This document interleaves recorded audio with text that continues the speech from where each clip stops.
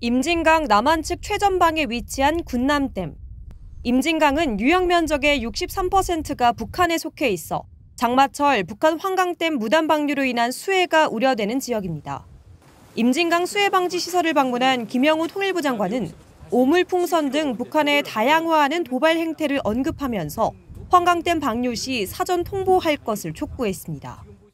대남 도발의 일환으로 환강댐 무단 방류를 악의적으로 진행할 가능성도 배제할 수가 없는 그런 상황입니다. 북한에게 이 환강댐을 방류할 시 남북 간 합의대로 사전에 반드시 통보해 줄 것을 이 자리에서 다시 한번 어, 촉구를 합니다. 지난 2009년 북한의 무단 방류로 우리 국민 3명이 사망하고 3명이 실종됐습니다. 이후 북한은 댐 방류 시 사전 통보하기로 합의했지만 세 차례의 사전 통보 이외에는 무단 방류를 이어오고 있습니다.